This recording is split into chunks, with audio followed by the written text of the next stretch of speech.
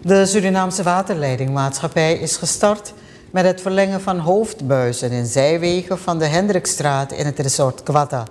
Doordat er meer woningen bij zijn gekomen in dit gebied is de behoefte aan meer huisaansluitingen groter. De Anouk Tulzuweg heeft de SWM een aanvang gemaakt met deze werkzaamheden.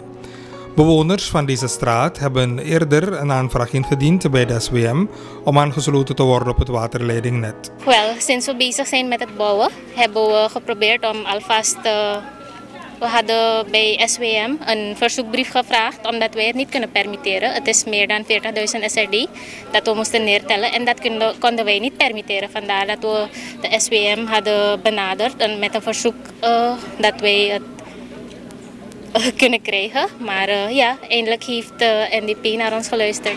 Minister Robin Permisser is namens de NDP belast met de coördinatie van het veldwerk in dit gebied. De NDP heeft volgens hem in deze periode bewezen dat nutsvoorzieningen in alle delen van het land in orde worden gemaakt. Veel mensen gaan zeggen waarom nu twee, drie dagen voor de verkiezing. Het is geen verkiezingsstuk. SWM is in het hele land druk bezig. Dat zien jullie ook toch? Wat de 30, 40, 50 jaar niet gebeurde. Kijkt u maar in de afgelopen jaren in zoveel gebieden, die harde werkers van SWM, hoe ze dat water gebracht hebben. Leja zo Domburg in de stad en noem maar op.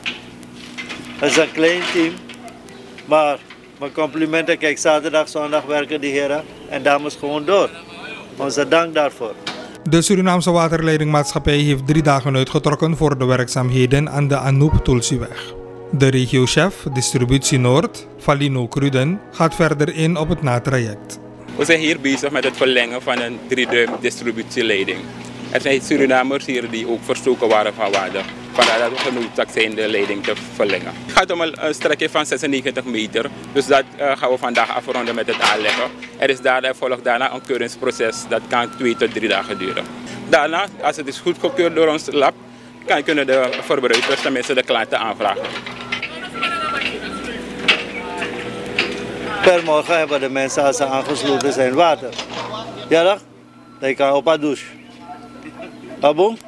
Kunnen we iedereen een applaus geven aan de directeur van SWM, aan de werkers. Ja, dat ze dat werk doen. En dat we onze erkentelijkheid daarvoor uitspreken.